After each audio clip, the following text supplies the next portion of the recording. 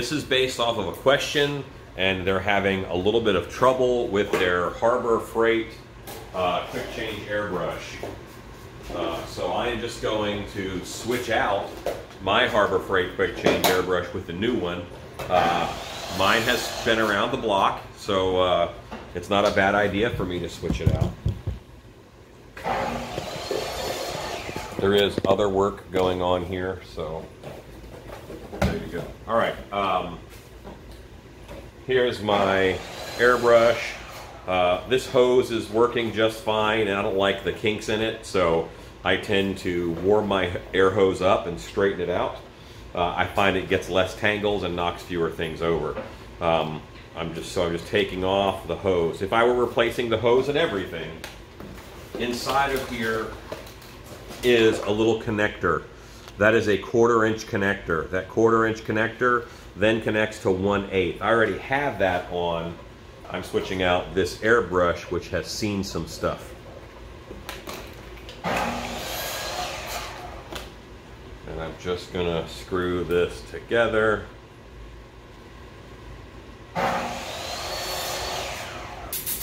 have air come out of here. So the way that this guy works is it draws air over top of this tube from this tube. This tube shoots out the air. The paint is in here. It creates a, a low pressure and high pressure inside and that forces the liquid out. So that ratio in between those two posts is very important, that ratio right there. And you can adjust that by screwing this one out or by screwing this one up. So those two adjustments are what you have. The rest, it kind of just clicks into place. Okay, so this is latex mask paint. It is one third distilled water, one third casting latex, one third latex house paint from Home Depot, interior flat. And I actually have a little bit less than one third water in here uh, because I just pour a little bit out for my homies before I mix because I like it a hair thicker. I can always thin it with distilled water later if I need it to be a little less. Always shake up stuff. If you are using Black Lagoon Supply Company casting latex, that is about three times as thick as most other casting latex. In that case, you'll have to thin your latex more in order to get this consistency of paint. Your latex should not be any thicker than buttermilk. This is the same latex mask paint, different color. Before I buy and I leave the store, I make sure that none of these little brass tubes are broken off. Sometimes those could be broken off in storage or transport, and just make sure none of those are broken.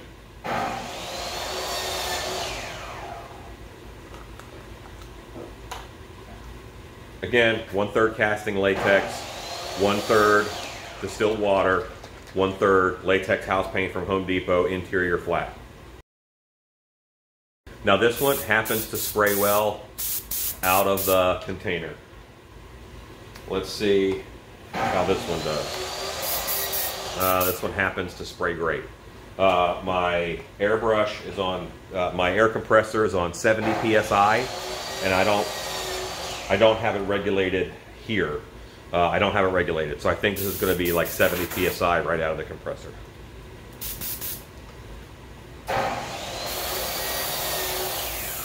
And this is how much it's coming out. Now, if I twist this, see that's a good ratio right there because that's coming out. If I put this up a little too high by twisting this one, as I unscrew it goes up.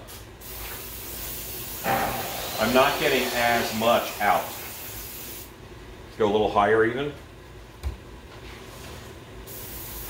And now I'm getting even less. So that adjustment is kind of critical for how much you get out. Let's go down lower. I'm going to screw it down lower and let's see how it does all the way down low. Now it feels like it's all the way against that bottle. And it's, it's just, it's not coming out. It's not coming out.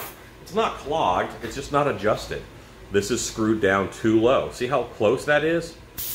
It's still pretty much too low to get much out.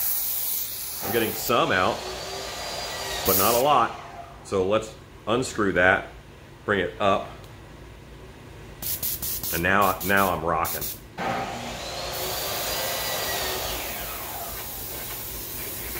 If screwing this up and down doesn't work, try unscrewing this a little bit, and that puts this guy closer. See how that moves him closer?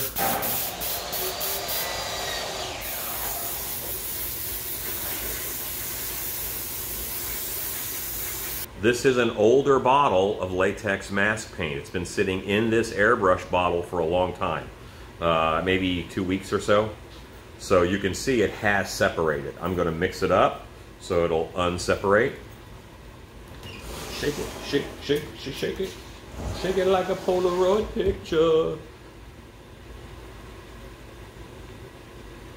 Okay, I feel like that has been shaken. And now I have to do something also very important. In this bottle, there are two holes, all right? There is a hole right here in the plastic. That allows air to be drawn into the bottle.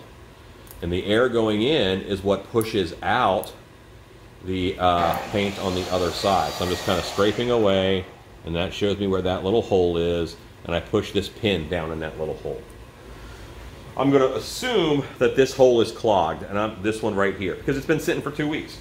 So I'm going to take this airbrush, and I'll put it here and see, right, nothing is coming out, nothing at all, because that hole's clogged. All right, that same pin, it's a sewing pin, it's a little one, not a safety pin, not a big T-pin, a little pin.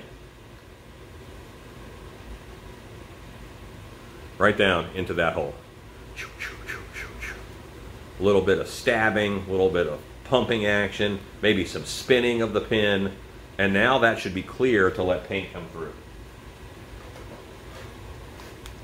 Two holes. Ah, ah, ah. Look at that. Now we have some orange happy action. Um, also, if it is sputtering on you and it's not spraying well, all right, often is a clog right there, like near the tip.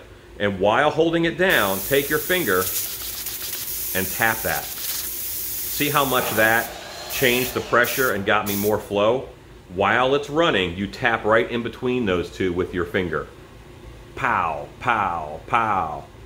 Alan got an airbrush like pow, pow, pow. Yeah, just like that. And then that will keep this guy spraying nicely. And I'll do it kind of midstream and not even realize it if it's giving me a little bit of a sputter. Um, now you can, when you are done using your airbrush paint, take have buy like a box of a thousand of these pins, which is like five dollars, and stab them into the bottle. And that is plugging that hole. And when you want to use, you know, put one into each one, and then when you're ready to use the paint again, uh, pull those two pins out and you're good to go. You don't have to unclog it.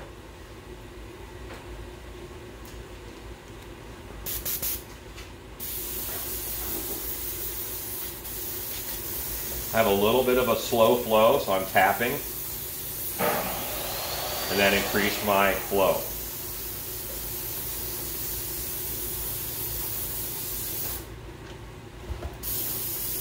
And sometimes it's plastic, so it can get a little bit warped. And if it gets skewed off to one side or the other, that's not going to help either. And I, it just, I just help find it helps to torque it into the position you want a little bit past and hold it for a second, let it go. I mean, it's plastic. So, um, but well worth the 10 bucks. I hope that this helped. That is the Harbor Freight airbrush, quick change airbrush. Normally $9.99. Awesome for the price.